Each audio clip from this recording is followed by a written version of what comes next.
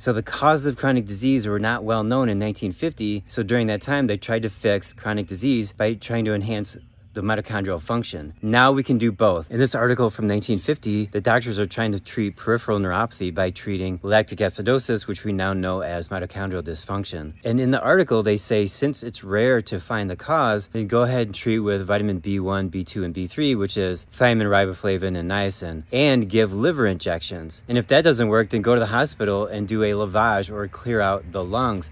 What they're trying to do is get oxygen into the body. So what blocks oxygen from getting into the body? That's toxins, parasites, it's biofilm. And in 1950, they didn't know too much about the, the causes of chronic disease. Chemicals were not very prevalent. It wasn't until 1962 when the public became aware of DDT as a problem. It wasn't until the 1980s when the public was starting to be aware that mercury, for example, from teeth was a problem. It wasn't until 10 years ago that plastics was decided to be a problem. Now you have to treat the causes and you can fix the mitochondria. And then you feed the organs to make symptoms go away.